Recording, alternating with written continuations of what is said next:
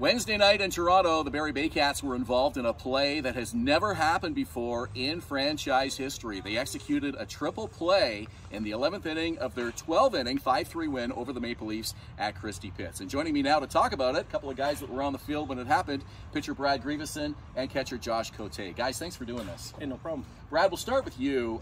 It was a wild and crazy game right from the outset. You find yourself in a four inning relief appearance and you had to pitch out of two bases loaded, nobody out jams in extra innings. Before we even talk about the triple play, that's something I've never seen in Baycats history. I'm wondering if you've ever been in that situation in your career.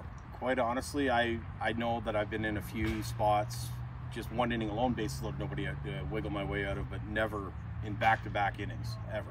Like, for me, no. So what are you thinking in a situation like that? Because there's only a couple things really that can go well. A strikeout obviously is always good, or a pop-up, but a ground ball is risky, a line drive is risky. You know there's a guy at third representing the potential winning run. What's your mental approach in that situation? Uh, mental approach, I mean, I got to attack hitters. Plain and simple, I don't have any room for error. I can't put them anywhere.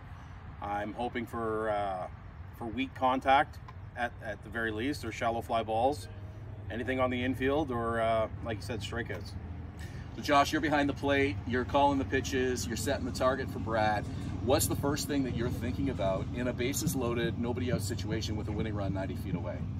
Uh, I was mostly just thinking we got to go right out again. We can't dance around anyone, we can't walk anybody.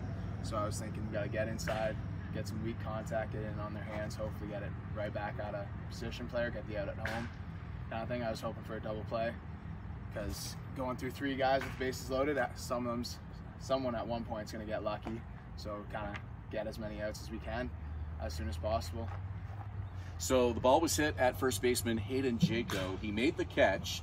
Were you able to determine at the time that he caught that as a line drive, or did it take a moment for everybody to kind of figure out, wait a second, there's a guy to double off at first and a guy coming home to try to score? Yeah, so when, when it was hit, I saw it, saw him catch it. It was pretty close to the ground, but I saw the guy at first break. I wasn't really looking at third too much, but I saw him break, so I yelled, one on one, let's get the out. And then right as he was tagging the guy at first, I saw someone slide behind me, realized it was the guy at third, and he definitely had not enough time to tag up, so just started calling three, and he broke on contact, so it was lucky we were able to get the trip play and all that. First triple play you've ever been involved yeah. in as well? Yes, first one I've seen. Pretty amazing, and Baycat fans have not seen anything like that in more than 20 years of franchise history. So you guys will forever be linked in a pretty uh, amazing moment on the field at Christie Pitts in Toronto. Thanks a lot for joining us, guys. The Baycats beat the Maple Leafs by a score of 5-3 in 12 innings on Wednesday night in Toronto.